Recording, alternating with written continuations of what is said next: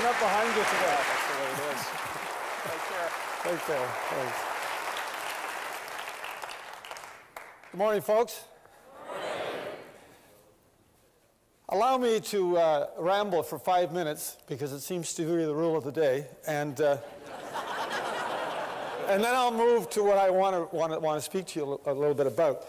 Um, I, I, was speaking yesterday in Calgary uh, to uh, a large oil company, Suncor, and uh, I, I was telling them that you know I'm just finished writing this book, and and when you're writing and I've been writing for about four months, you get so enveloped in things, there's a great danger when you get up to speak that you'll just go all over the map. So what I've discovered is if I allow myself just five minutes at the start to say, here's the kind of things I've been thinking about or dealing with lately, uh, then it seems to work out quite well, because then I move back and, and do the actual program.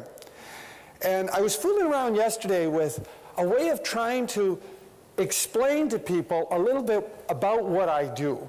Uh, because I, I have a, a, foot in two worlds. I've just come back from Harbin, China, in, which is sort of Mongolia, uh, Siberia, like it's two hours north by plane. Uh, from Beijing, and I was at the World Women's Hockey Championships. I've worked with our women's uh, Olympic hockey team uh, for the last uh, three or four years, and we're preparing, as you know, for 2010. And we had a little setback in Harbin. We finished second to the Americans, which is unusual for us. It's uh, only the second time in 11 years.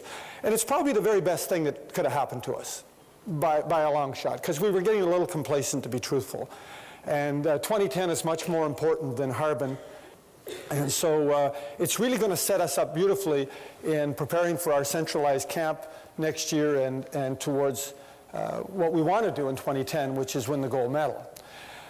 Well, so Dabrowski said, okay, so we got nature. I think we agree, genetics play a role, and certainly nurture, how you're raised. Right? When your kids are teenagers in particular, you're going, don't hang around with them. They're bad at influence, or they're bad this, or they're bad that. You see? So there's nature and nurture. But Dabrowski said, ah, ah, but you're missing something. You see, you're missing the third factor. What Dabrowski called the third factor, the role you choose to play in your own growth and development. See? And Dabrowski wrote eloquently about the third factor. And as a result, uh, I've entitled my, new book, Igniting the Third Factor Coaching Beyond Nature and Nurture. And what I've done in order to get background on this is I've gone to coaches that I've known of around the world, uh, particularly in England and the United States and Canada, and I've interviewed them. And I've said, how did you develop such a strong developmental bias. Because you see, that's what the good coaches have. The good coaches have a developmental bias. They are trying to trigger that development in the other person. That's what they get really good at. And I like the term the third factor because it puts a handle on it for us. It helps us begin to go, what am I trying to do with this person again? Because it's easy to miss that third factor. Because if the person is particularly emotional, you, you get caught up in the personality and you don't see the emotion is based on the fact that they're not happy with the way things are right now. And actually, if you could harness that, you could turn it into something. You know? I, I, I tell the hockey players I work with constantly that beneath every emotion is the energy necessary to transform what you're going through.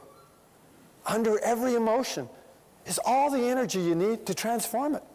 You look back to points on your life where you would look back and say, boy, that was a real difficult time. But you are where you are today because of how you dealt with that. Was it any fun in going through it? No, it wasn't. But you harnessed your own third factor. You look at Nelson Mandela, Helen Keller, Martin Luther King. You, you look at all of them. What did they do? Huh? They grabbed themselves by their own bootstraps and picked themselves up and moved beyond well beyond the nurture part, for example. Nelson Mandela came out of a prison and after 20 some years and was totally open and, and kind and understanding to those who even had imprisoned him for crying out loud. How do you do that? You do that when you have a lot of third factor. So, what is it about coaching that has it emerging as the dominant management style right now? Well, three things. First of all, coaches have a strong developmental bias. Coaches passionately want to make other people better. It's the way they are as human beings. It's like they have a different set of eyeglasses. The ones I interviewed, it's like that's the way they look at people.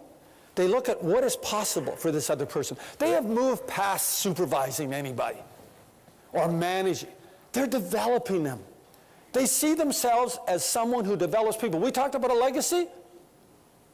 Become a developer of people. What a marvelous thing to do, not only for the other person, but for yourself. You want to bring a sense of purpose and meaning to your work? Start to be, start to be a developer of people. How do they do it? They do it through personal contact. Coaches get, they get the power of personal attention.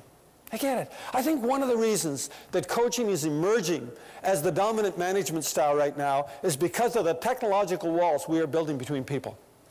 People are thirsting for face-to-face -face contact.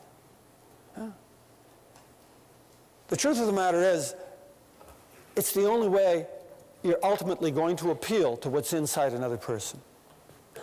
There's a man named Brian Gilbert. Uh, Brian Gilbert is Director of Lands and Forests for the province of Nova Scotia. I've been doing a lot of work in the Nova Scotia government for the last 15 years uh, for the very reasons that were indicated uh, right up front here. You're not the only organization that is losing close to 50% of its people in the next five or six years. Linda Duxbury at Carleton University tells us that for every two people who retire in the next 15 years, there is less than one person available to replace them. That's just straight demographics.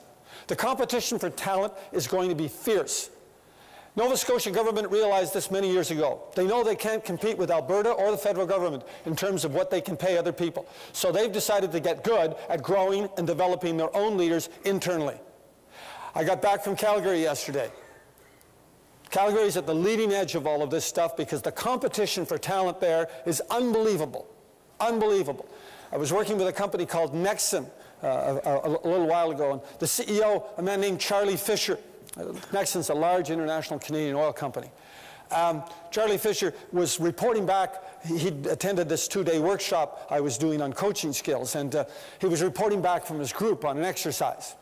And, and he walked to the window on the 22nd floor of their big tower in Calgary, and he said, you know, sometimes we think we have to scour out there to get the very best people in this room so that we can be successful. And then he turned around and he looked at the people in the room and he said, but maybe we need to spend at least as much time looking at the people we have and developing them, growing our own, making our own leaders. And of course, caring. Caring is at the heart of really good coaching. If you don't genuinely like people, then why in tarnation would you ever take a role where you're responsible for them? Imagine a gardener who hated plants. Sadly, here's something we don't, we don't have to imagine.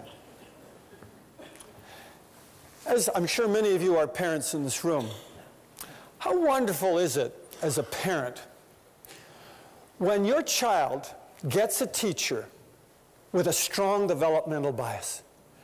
Someone who takes just as big an interest as you in this child and helping this child move forward and encourages the work ethic and all of these kinds of things that you've been encouraging, what an ally. We go, thank goodness. But how devastating is it when our children get a teacher who doesn't even like children, who's used the same lesson plans for 20 years? Yeah, it's devastating. You know, we want people who care. If you don't genu genuinely like people, take early retirement. you know? Like, get out now. Like, save a lot of other people a lot of daily grief. And perhaps yourself a heart attack, you know? Because caring is at the heart of really good coaching.